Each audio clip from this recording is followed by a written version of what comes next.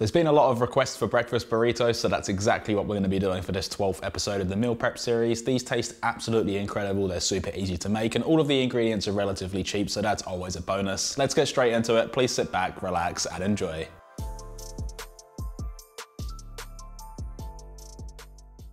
Alright guys, we're going to start this off with three potatoes. These are all-rounder potatoes, so they're pretty much suitable for everything. And with these, we're just going to take off a bit of the side so we can lay it flat on the bench to avoid it wobbling around. Then slice this into nice thin strips the whole way across.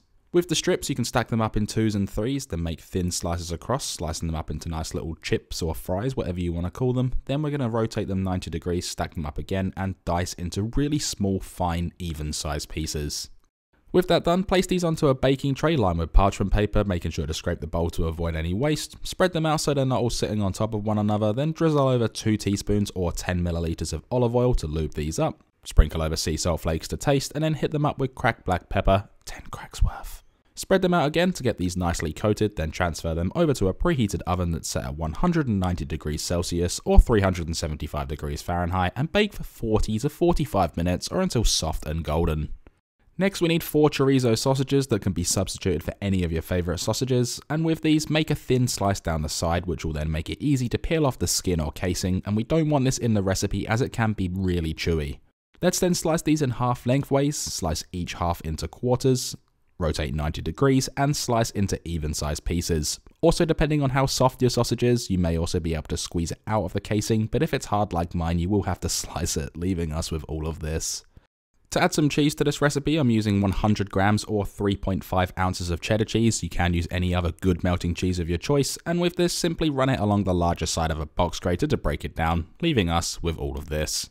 Moving on, we need one ripe avocado to which can be opened up by running a knife around the seed, being careful of your hand, and I do recommend doing this on a board, once open, use a dull knife or spoon to pop out the seed, then scoop out the flesh with a spoon and slice this into thin, even sized strips. Also, this can be optional if you don't like or don't want to use avocado.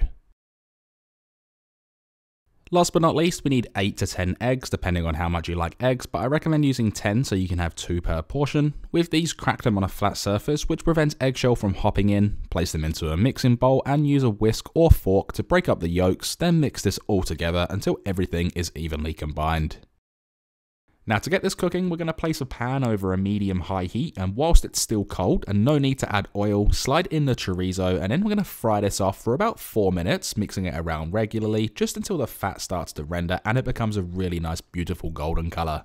Also whilst doing this, you can practice that flick of the wrist motion, which is a great way to mix ingredients around without the use of utensils, but once that's all done and you have something that looks like this, this can then be removed from the stovetop and transferred over to a bowl, which can then be left to rest for the time being. Let's then place that same pan back over a high heat, add in the whisked eggs using the rendered chorizo fat instead of oil, season to taste with sea salt flakes and 10 cracks of black pepper. Then whilst mixing around the whole time, cook this for 1 to 1.5 minutes just until you have beautiful soft fluffy curds. And we do want this to be slightly runny as it will continue to cook even after removing it from the heat and once that's done, remove this from the stovetop. Right about now our potatoes will be beautifully golden and soft which means these can be removed from the oven. Now to put these together, we need 5 tortillas, and I've put these in a microwave for 15 seconds to make them nice and soft. Spoon over half a tablespoon or 15 grams of sour cream, spreading it out evenly. Add in one fifth of the scrambled egg, again spreading it out, then place over one fifth of the soft golden potatoes. Same again with the golden chorizo sausage or whichever sausage you decided to use. Sprinkle over the grated cheddar cheese or your cheese of choice, and finally lay over the avocado.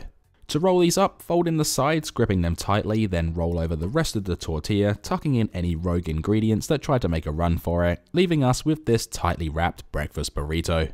These can be wrapped in some food wrapping paper or placed into an airtight container, doing whichever is easiest for you, and these will last up to 5 days in the fridge and up to 4 months in the freezer. As for serving, let them defrost overnight and heat either in the oven or microwave until hot in the center. Slice them in half, which then reveals that beautiful center that's packed with all of that delicious flavor and texture. And like always, here is all of the nutritional values of the whole dish.